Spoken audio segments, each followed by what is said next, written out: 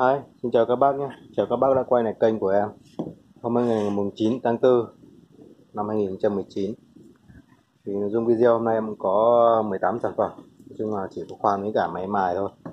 Thì em nên ờ, làm một clip em ờ, đăng lên cho các bác coi ờ, và xem những cái máy nào phù hợp với công việc của các bác thì các bác cứ liên hệ với em qua số điện thoại trên màn hình để em cũng quay sơ qua một tí cho các bác coi đó. hai con máy số này là số số 1 em bán 900k nhé không bán lẻ hai con này nhé tại vì hai con này là nó bộ sản phẩm nó cũng đi sản xuất ừ, đời gần gần với nhau. Đó, nên em sẽ bán hai con này một con mài và một con khoan hai chức năng. Còn rất là mới. Nhưng mà con này nó bị cắt mất dây rồi. Rất là tiếc. Còn con này còn nguyên dây rồi, con này thì nó sản xuất thì nó cũng khá lâu rồi. Nó mà tầm 50 năm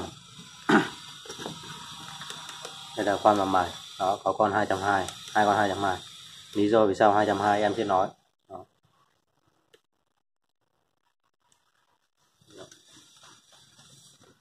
rồi thế không được mất thời gian các bác nữa. Em sẽ test uh, từng con máy mình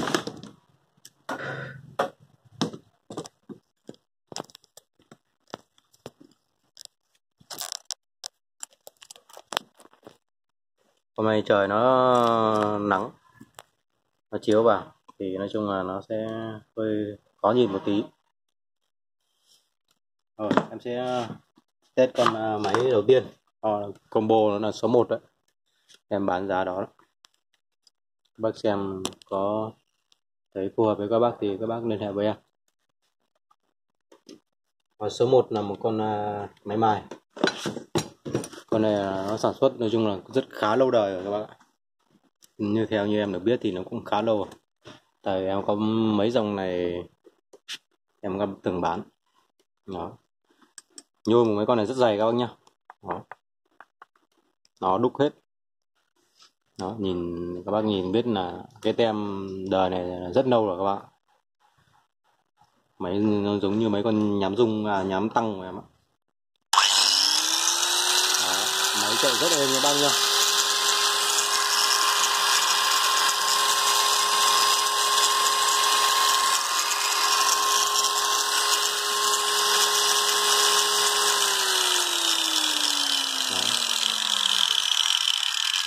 Máy rất là êm ấy đây có một nút gì ở đây? Em không biết nó là nút gì. Giống như cái đèn nhưng mà không thấy ánh sáng. Còn đây có một nút nhấn, không biết là nhấn để làm gì chứ. Em em thấy nó cũng không giữ cái lưỡi này lại. Không biết là nhấn làm gì, em không biết. Đó. Combo hai con máy này là 900 các bác nhá. Đây. Em sẽ quay cái con máy khoan này. Hai chức năng. Cổ này biết đây phải bằng đồng không hay là mạ thì em không, chưa ừ, thử thử em lâm châm thì cứ biết. Đó.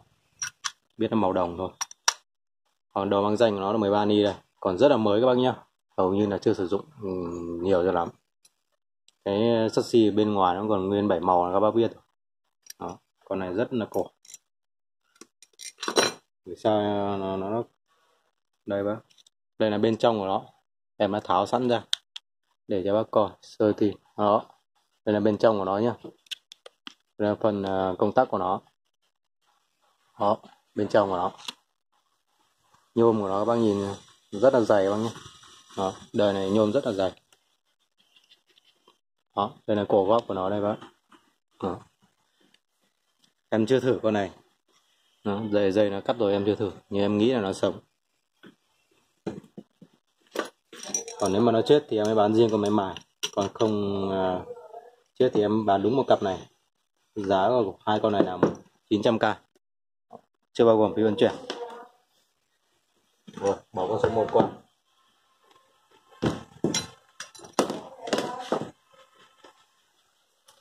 Con số 2 là con à, bắn vít con này là của Hitachi các bác nhé.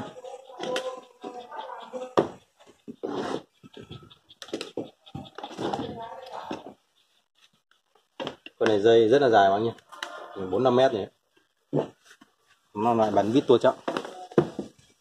Con này chỉ có 750 vòng một phút thôi bao nhiêu?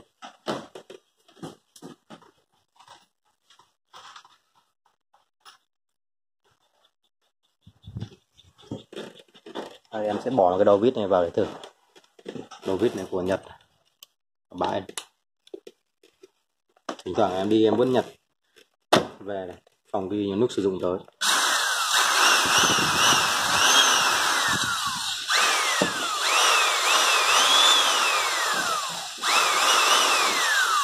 con này đầu nó hơi dơ dơ rồi các bác nhé phải không không phải bạn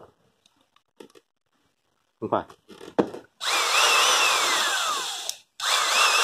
À, các bác phải ấn xuống à, nó mới uh, chạy nhá. Đảo chiều làm dưới đây.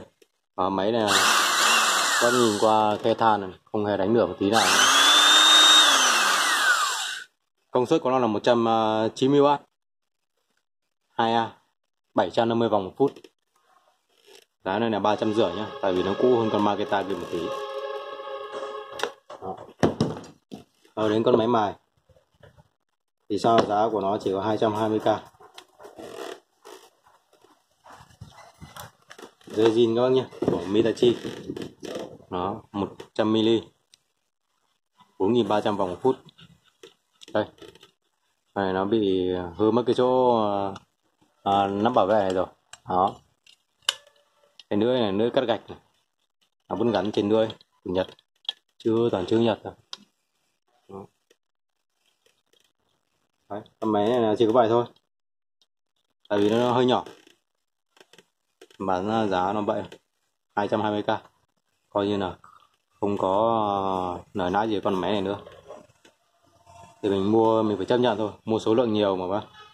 Con nọ bù con kia nở được con nọ thì có, có con kia hòa gốc hoặc còn nó là nô. Đó là chuyện buôn bán thôi. Các bác nào buôn bán thì cũng biết rồi chứ không phải cái nào nó cũng nời trăm phần trăm được.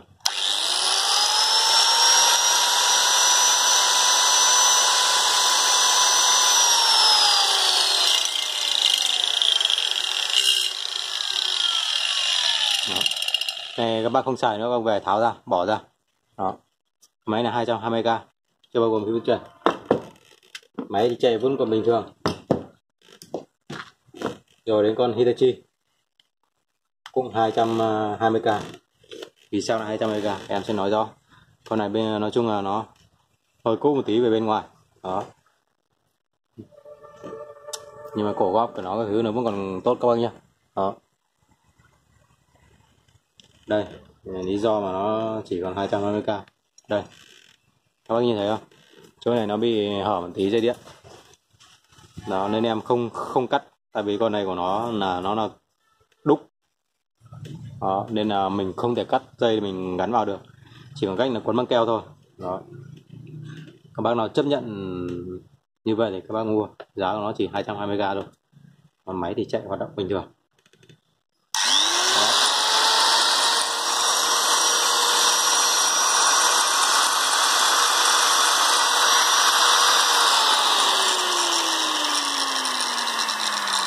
Máy thì chạy rất êm ngon nhá.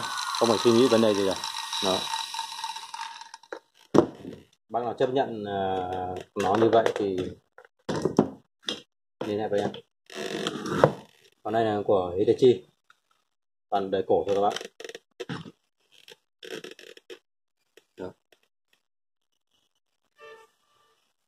Ba trăm sáu mươi k nghe các bạn nghe tiếng máy chạy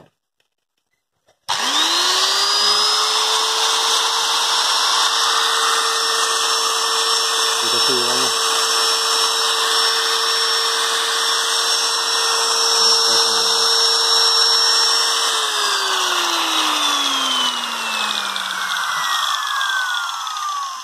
mấy con cổ cái chạy rất êm nhá. Nó không nút nhấn trên này nhá các bác phải kẹp lưỡi mở ra. 360k cho nó bán những con này ra bác rất là nhiều các bác uh, xài bên uh, gỗ đã chung là biết chất lượng của nó rồi. Không cần nói nhiều. Con này của Mitsubishi. Đó. một pha. 350k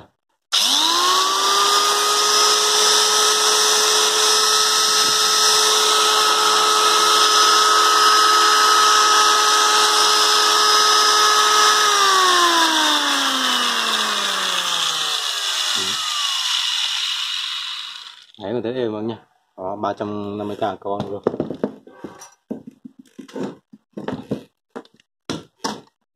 con này, con là Zobi con này à, băng keo nó quấn đây rồi em chưa có tháo ra xem con này em không thay dây nữa, cứ để nguyên trạng như vậy luôn thường nó bị sứt một tí hoặc là chưa hỏng nó cũng quấn băng keo, mà hỏng nó cũng đó.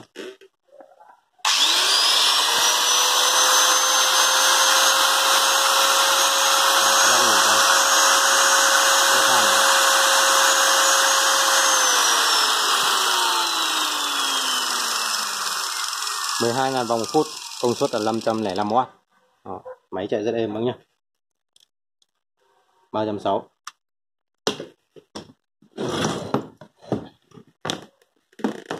đây là con máy mài của hãng ờ, gì đây cũng không biết. À là Mitsubishi. Đây trên ờ, cái ờ, sản xuất 1987 dây còn nguyên zin 1987 luôn. Ừ, máy chạy rất êm bác nhá thiết kế rất chắc chắn đó.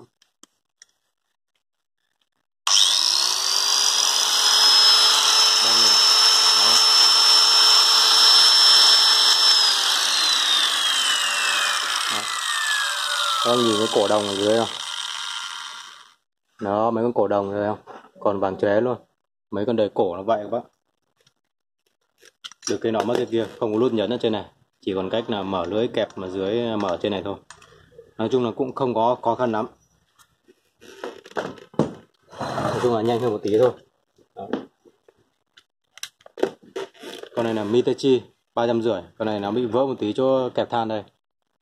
Một xíu thôi nhưng mà vẫn uh, giữ bình thường không sao hết. Tokyo dài bàn dây cũng còn uh, như đây. Bên Nhật người ta đã đấu cái dây này. Đây nhá em sẽ không đấu lại đâu. Đó đây là đấu dây này là cái ổ này của Nhật nhá, không phải là của Việt Nam đâu.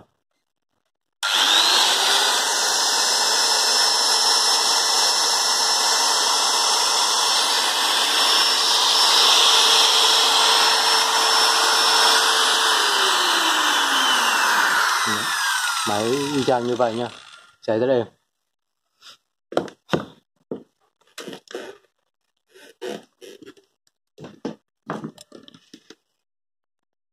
Rồi đến con ờ, số ờ, 14 Chỗ này là hơi nắng một tí.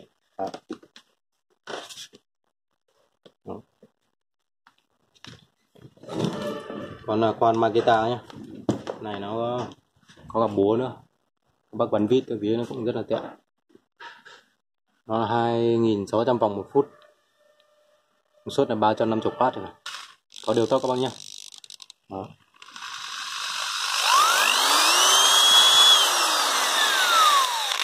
Đảo chiều đây các bác nhé đó.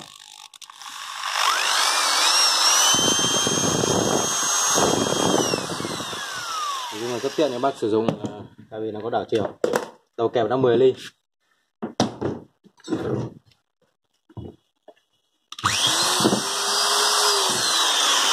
À, 350k máy còn tương đối rất là mới nha bác nhá.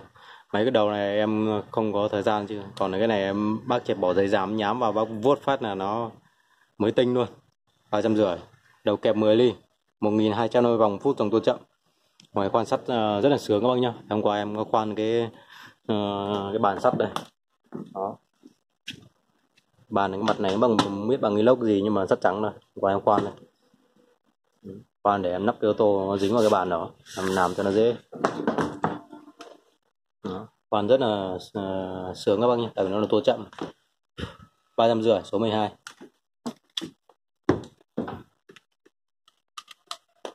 số ờ, à, số 11 số 12 này con.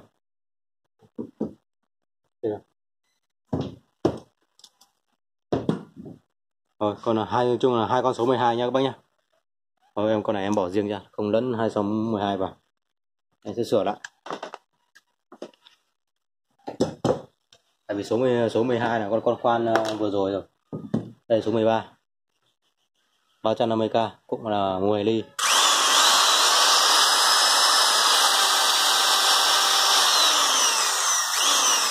Mấy con tua chậm này nó rất khỏe các bác nhá. Ngoài ra các bác có thể chế vào công việc khác quật giấy giáp được. Tại vì nhiều khi quật giấy giáp cũng không cần tốc độ cao mà chỉ cần nó khỏe thôi. Đó, khỏe để nó quật được giấy giáp thôi.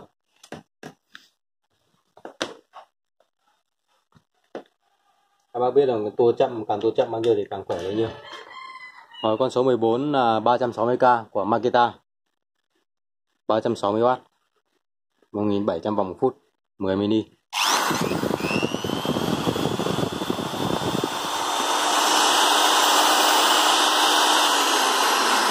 Đấy con nhôm này nó êm vâng nhá. Đó.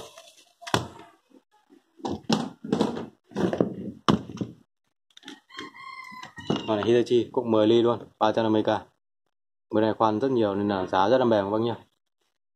Nó không phải lúc nào nó cũng về đâu Có lúc nó về rất nhiều về một loại, một loại máy Nhưng mà còn lúc thì muốn mua cũng không có để mua Tại vì nó nó đặc thù của hàng bãi Không phải chuyến nào nó cũng về có những cái máy mình cần.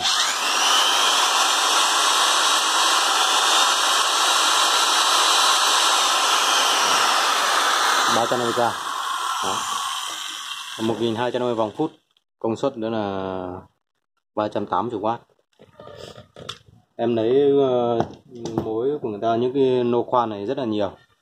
Nên là lúc nào về thì mình người ta kêu mình lên lấy mình phải lấy thôi. Mình không thể không lấy được. Không lấy thì lần sau người ta không bán cho mình nữa. Nó có lúc nọ lúc kia. Nhưng có lúc nó về nhiều khoan hai chức năng mình cũng phải lấy như hôm vừa rồi đó. Em về khoan hai chức năng rất là nhiều thì người ta về bao nhiêu thì người ta kêu mình lên lấy tại vì mình dặn người ta rồi. Mình không lấy thì lần sau người ta sẽ không bán cho mình nữa. Con này 350k các bác nhé đó.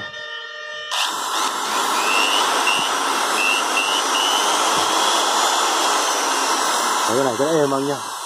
Em nói thật với bác nhưng mấy con này bác xài một quật giấy giáp nó các khoan thì chả biết đời nào mới hư được nó. Bởi vì cổ góp nó còn nguyên si mà, đâu có mòn đâu ba trăm rưỡi một cái máy như vậy thì quá rẻ các bác ạ. Không còn cái nào để rẻ hơn nữa đâu.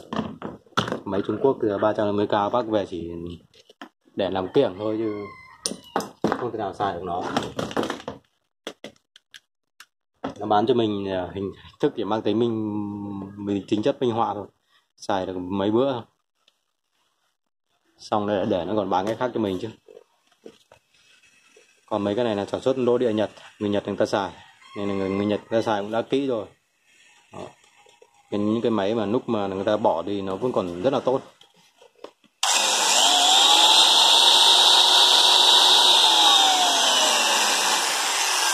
Con này là đường kính một tấc 25 các bác nhá đó.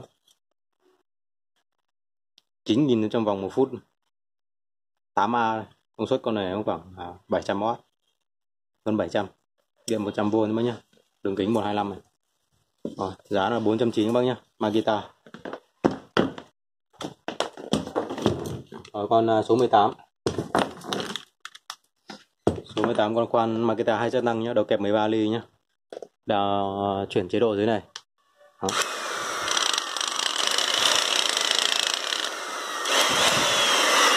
Nói chung là các bác à, muốn tận dụng nó là quan hai chức năng vừa quan sát vừa quan gỗ và vừa quan được tường nữa thì đây là lựa chọn phù hợp. Đó. Nhưng giá tiền nó chỉ hơn con kia khoảng có 7 80 ngàn thôi, nhưng mà nó có hai chức năng. Nói chung là tùy vào mục đích sử dụng của bác, em cũng có nói rồi. Có bác thì mua về để khoan tường, chỉ khoan tường thôi, và mua thêm một con quan sắt. Đó. Nhưng các bác thì tận dụng là khoan hai chức năng, là tháo cái mũi ra. Nó sẽ mất thời gian hơn, nhưng mà nó lại không phải bỏ ra hai con máy. Nói chung là tùy mục đích sử dụng của các bác. Các bác thấy nó phù hợp thì các bác ừ, thêm một tí tiền. Đó. Còn các bác ừ, không muốn thêm một tí tiền thì các bác bớt lại. Xài một con hai chức năng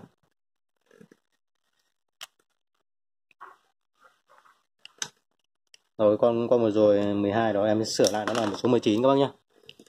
Đây. Con này của Hitachi các bác nhá. Nó đang gắn cái mũi gì trên này? Đây, em chả biết nó gắn mũi gì. Quét thì đây em biết. Đường kính chắc phải 5 6 phân đúng không ạ? Đó. Đầu này nó nhìn nó gì vậy thôi, nhưng mà em chỉ cần đánh phát là sạch ngay bác về đánh sạch ngay em sẽ nhả cái này ra đó 400k áo phải khoan được mũi gỗ là 30 mm. Đó. giống như mấy con kia cũng vậy thôi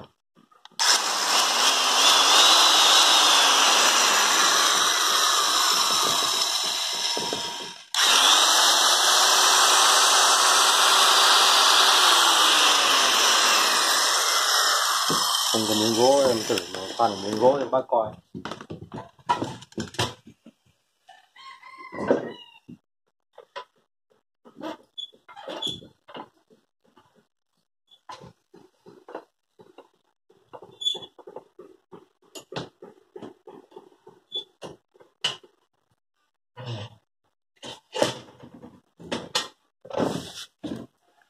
Đây, em ờ, quay cho bác ờ, coi. Em sẽ khoan ờ, cái phô cô này mảnh gỗ này.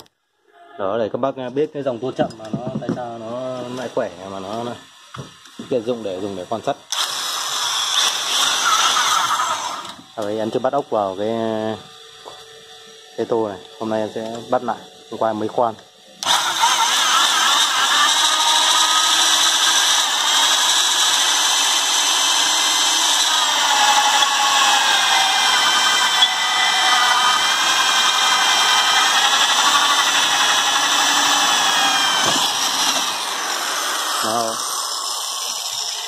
Và cái mũi này mua nó cũng bao nhiêu tiền thì các bác biết rồi. Đó, không cần nói nhiều.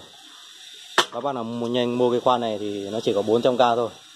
Đó, như các bác được thêm cái mũi. Tại vì cái này nó theo trên ờ, máy thì em vẫn để nó gắn trên máy. Đó, không có tháo ra.